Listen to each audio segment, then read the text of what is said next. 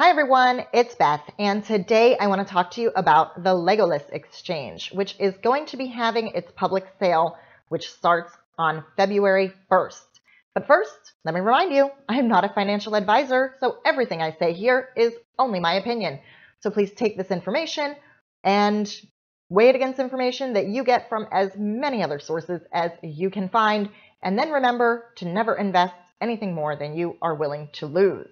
Okay, so now I want to talk about the Legolas Exchange, which is what they've termed a hybrid exchange, um, blending together the benefits of a decentralized exchange and the benefits of a centralized exchange.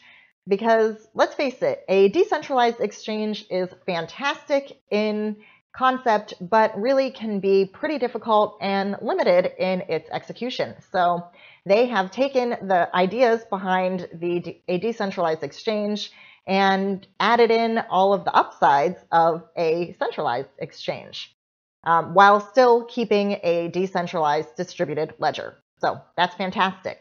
Now, let's go ahead and go over some of the things that are here. So there is a lot here. Um, they are on Twitter, they are on Facebook, there are um, Reddit posts, they have um, Telegram community. They have lots of blog posts on Medium.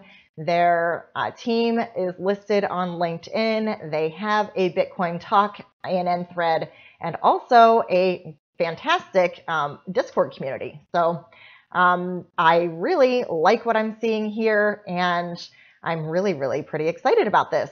Unfortunately, uh, this is the ICO is not going to be available for contributions from people um, who reside in the United States. Uh, they are doing complete. Uh, they are going to be completely KYC compliant, KYC AML compliant. So, um, and there actually is not even going to be a first tier like the Binance Exchange where you can get in uh, with lower limits and not have to, you know, do those KYC requirements because of the structure of this um, of this exchange, they are requiring uh, KYC for everyone. Uh, you, people from the United States will be able to, to, participate in the exchange once it is live, but um, we will not be able to participate in the ICO. Unfortunate, um, because I really think this looks super interesting, which is why I'm talking about it anyway. So um, there we go. So let's go ahead and take a look at what's happening here. So, like I said, um, they are using a decentralized blockchain protocol. So it will have be fully transparent and prevent um, front running and market manipulation. So front running is where um, an exchange operator can basically see what orders are coming down the pike for an order book and then take that insider information and place their order in front and you know scoop up the, those good deals. So um, this, because of the way that the Legolas protocol is has been developed, um, they will not be able to do um, front running on this exchange. So it will be more fair to those people who are participating in the exchange. So like I said, this is a hybrid model. Um, they are combining the features of a decentralized exchange, so the distributed ledger, but also they are going to have um, features of a centralized exchange, which will allow us to do um, transactions that are across different chains. So, uh, for instance, EtherDelta, which is um, a decentralized um, Ethereum exchange, well, you can only do transactions there that are on the Ethereum blockchain because that's how the decentralized exchange works. If you want to cross chains at this point, you need to be in a centralized exchange like uh, Bittrex or Bitfinex, Kraken, Gemini, you know, one of the uh, larger centralized exchanges. But, you know, once you are in that centralized exchange, you're really giving a lot of trust over to uh, the people who operate that exchange. And this idea here is going to um, combine the ability to go cross chain and also from fiat into crypto, um, but still give us a um, distributed ledger, which is fantastic. Uh, also, they are going to be partnering with Ledger and other hardware wallets, and you will not be giving them your assets in order to make trades. you will be holding your assets and um, you know your signature will send you'll you'll send your order over to the order book from your ledger or your other hardware wallet. So I think that that is fantastic and really seems to solve a lot of the issues that exist with um, existing centralized exchanges. And also, um, you know, it, it helps bridge uh, the decentralized exchange uh, gap also and, and, and allow us to do more than you are able to do on a traditional decentralized exchange. So I think that is all very, very exciting. And yeah, so, um, so I'm talking about this. So uh, like I said, it is, um, they are using the, a decentralized ledger and um, it is going to allow you to send uh, orders over to the order book and then um, it it's kind of complicated, but the way that it works is that um, the order book is the centralized part. So there's an order book and a matching portion um, that is going to match orders in the order book.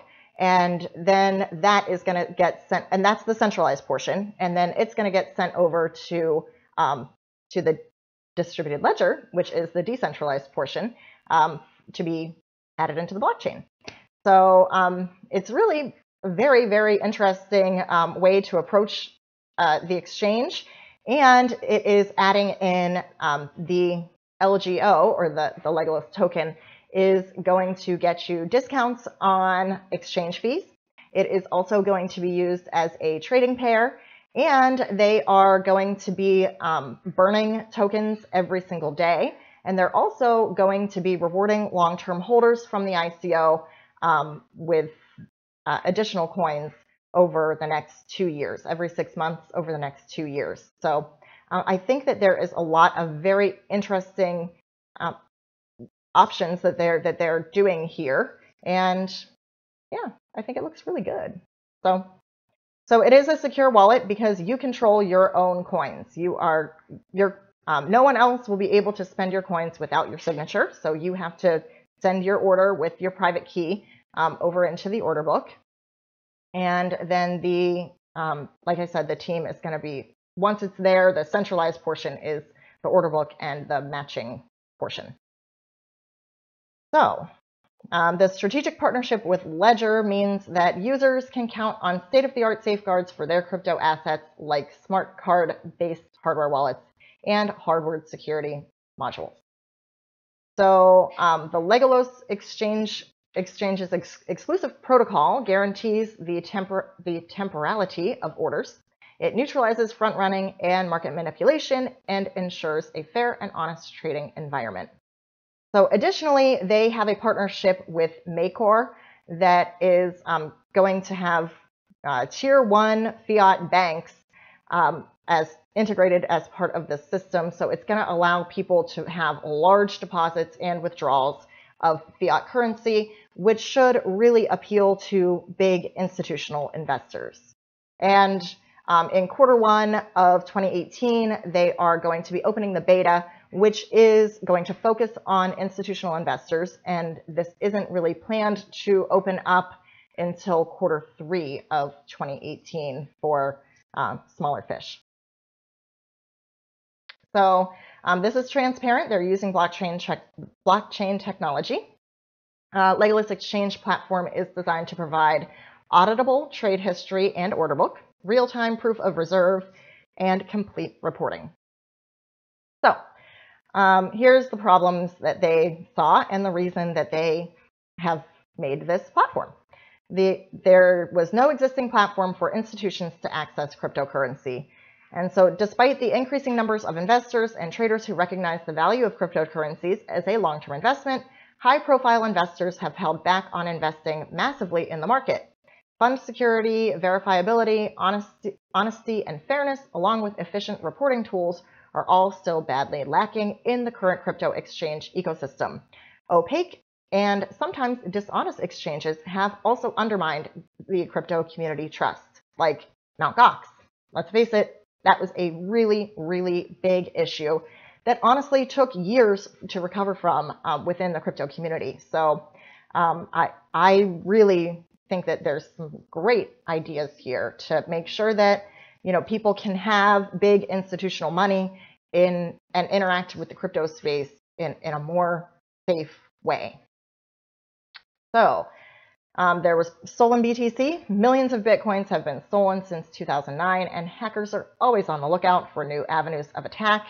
Um, as such, they have said here that um, they are eh, going to require 2FA in addition to KYC, um, and it won't be basic 2FA either. It is um, going to be um, actually something that I'm not familiar with. It said it was FIDO 2FA. So um, I am, am interested to see what that will look like, but I definitely really, really like the idea of not sending my money to the exchange where I get to hold this in my own hardware wallet and still participate in the exchange.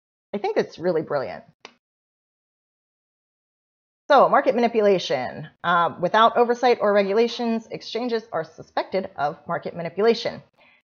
Also, there are no large fiat transactions with current exchanges. There are low maximum amounts and high fees, as well as long delays for fiat transactions, and they make large, uh, large size trades tedious. I mean, if you have ever tried to get money from your bank into, say, Coinbase, you know that those wire transfers can take days and the limits are really pretty low if you're talking, you know, not for everyday people, but if you're talking about large institutional investors, you know, it's really quite onerous to, to get through the system, to get large amounts of fiat into the system. Um, so additionally, their opacity they saw as a problem. So free from accountability, crypto exchanges operate without periodic reports or independent audits.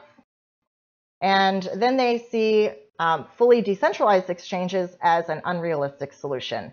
And that is what I said before, because decentralized exchanges can only operate within the same blockchain.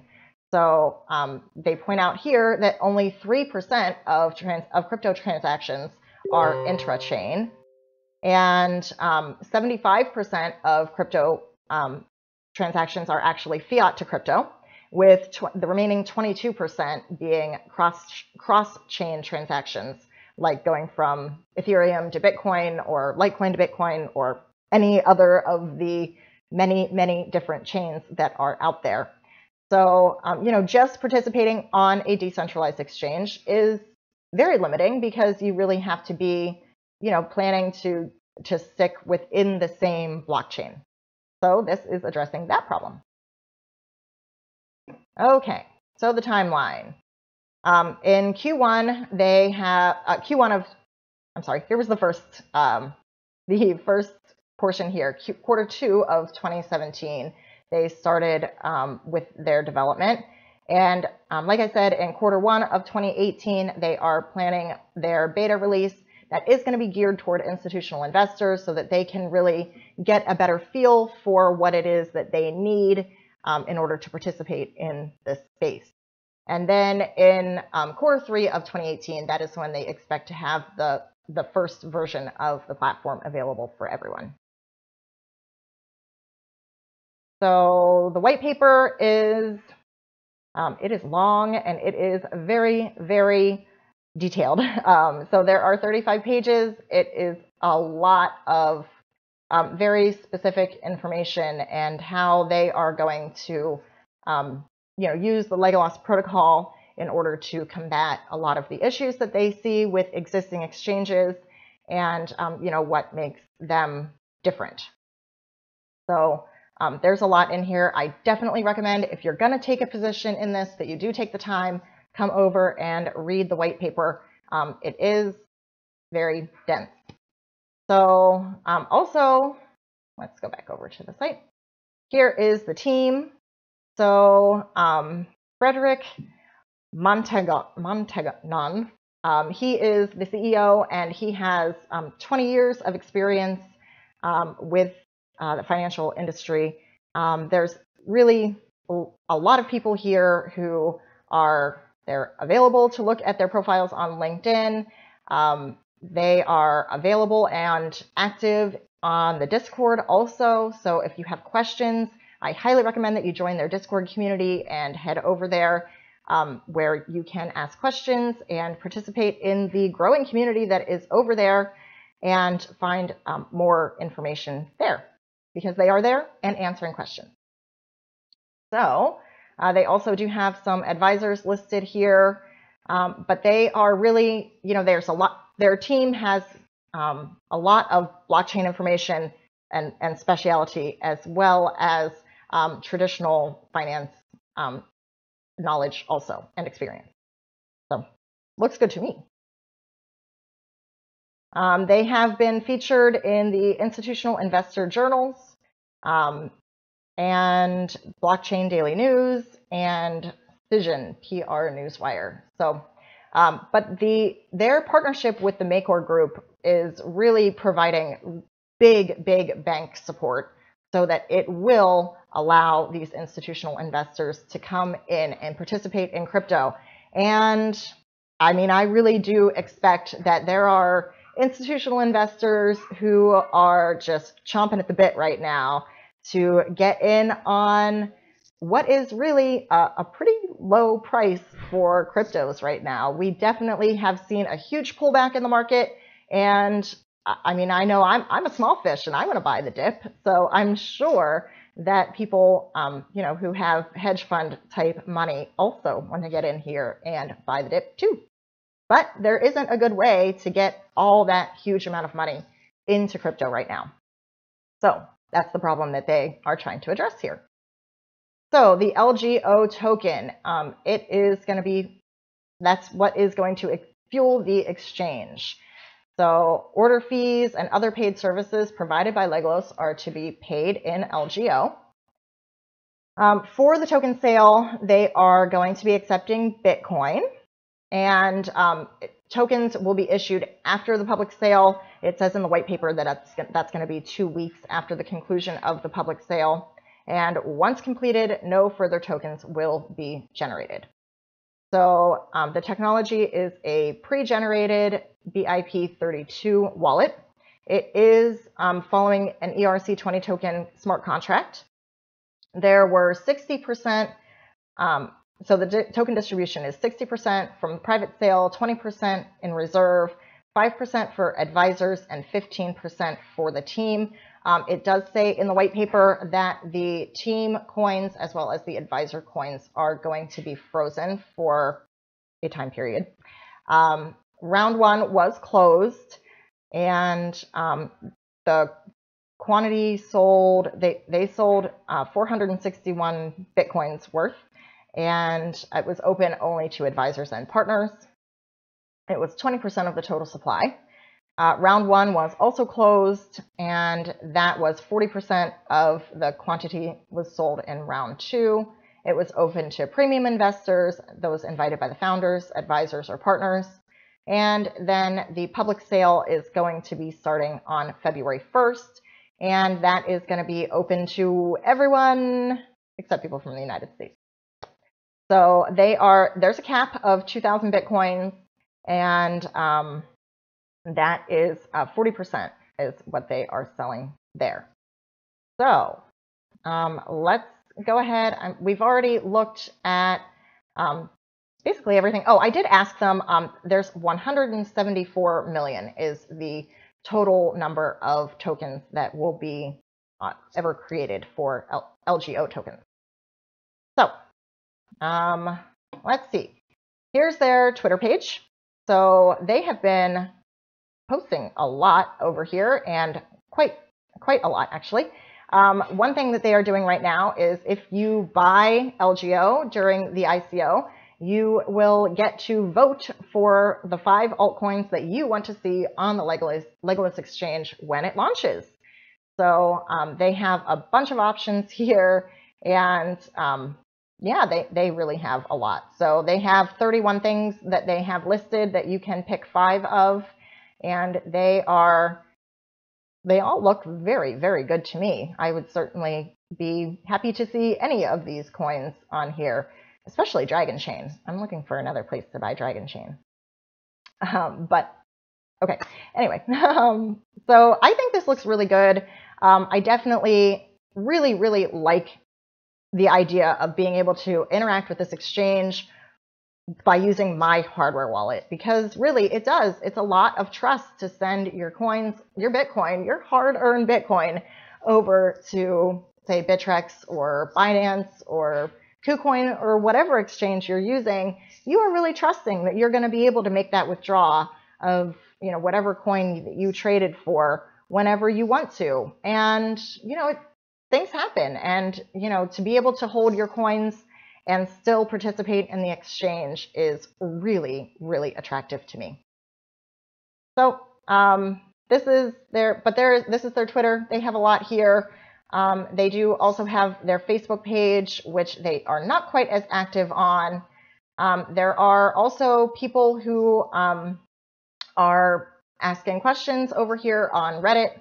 Uh, they do also have um, a Telegram community and um, their medium is there's there are a lot of um, articles here about Legolas and um, what it is doing and what makes it better and different um, over here on Medium. So I definitely would suggest that you come over and read this. Um, it does uh, give you a lot of, let's see if I can find it quickly. Um, so the benefits of a hybrid solution. I really, really liked this article. So I would definitely recommend that you come over and take a look at this. Uh, this shows what the Legolas Exchange, a hybrid structure, simplified. So this is what I was saying, where this is the centralized portion where you know you submit your order to the order pool, and then the matching engine will match your order with someone else's or with you know someone else in the order pool. And then once that is done, you know that gets uh, sent over to the blockchain, to the decentralized ledger to be added into the blockchain. And, um, you know, then the matching engine will get you your, your money back into your wallet. So um, I really, really think that this is a, a very clever idea. And yeah, that's, that's why I wanted to talk about it today. So um, I would definitely recommend that you read the white paper, come over to Medium, read all the blog posts that are over here. There is really a lot of information here, but I think exchange coins are the big, they're, they're really, really attractive. I mean, obviously, you know, Binance is using their Binance token as a trading pair. You also get a discount on fees. Legolas is going to be doing the same thing. So you know, if you watch, if you've been watching, the price of a Binance token has been doing quite well. The same thing goes for um, the KuCoin uh, coin also. And I am um, certainly keeping my eye out for more exchange coins because I do think that they are really, um, you know, the next big thing in crypto. Well, the current big thing in crypto. So um, that is really going to do it for me today, everyone. Um, don't forget to go over to LinkedIn where you can check out the um, all the people who are here and on their team. Also, their ANN feed is over here and has a, a lot of information um, on their ANN. Also, they are also doing um, a signature campaign if you have a Bitcoin Talk account and want to participate in the signature campaign. Um, and then their Discord, sorry, their Discord is um, also very, um, very, there's a lot of people over here. I mean, their, their community has 181 people already. Um, there are a couple, there's an admin here and um, quite a, a number of people who are um, participating from the Legolas team. There was another moderator on earlier. So this is definitely um, an active community. So I really, really like that. I really like how accessible um, the team has been over here with Legolas, and um, I think that this looks very good. So um, I am not able to participate in the ICO, but um, I do think it looks really good. So if you're not in the United States, then I, I, would, I would recommend that you take the time, do some research on this one. Uh, you have a little bit of time left. Like I said, this does not start until February 1st. So do make sure that you sift through all this information. All right. Well, that's it for today, everyone. If you like the video, then please do leave a like. If you'd like to see more from me, then please subscribe to the channel. If you have any questions or comments, you can leave those in the comments section or hop on over to uh, my Discord channel and um, join the community there. So I want to thank everyone for your time today. I'll see you next time.